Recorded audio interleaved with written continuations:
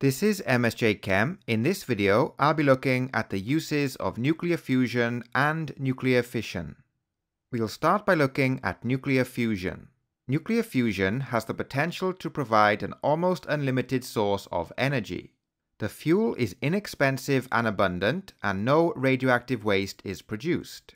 Here we have a picture of the JET fusion reactor, in which scientists are trying to recreate the necessary conditions for nuclear fusion.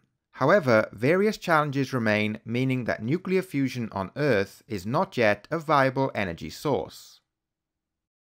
Next, we look at nuclear fission. Nuclear fission is used to generate electricity in a nuclear power station.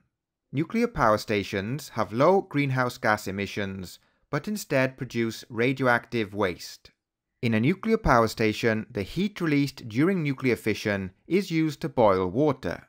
The steam produced turns a turbine, which in turn turns a generator, generating electricity.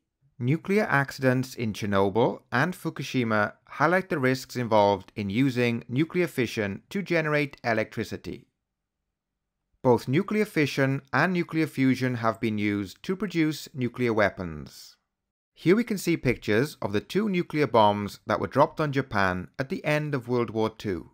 On the left, we have Little Boy, which was dropped on Hiroshima, and on the right, we have Fat Man, which was dropped on Nagasaki.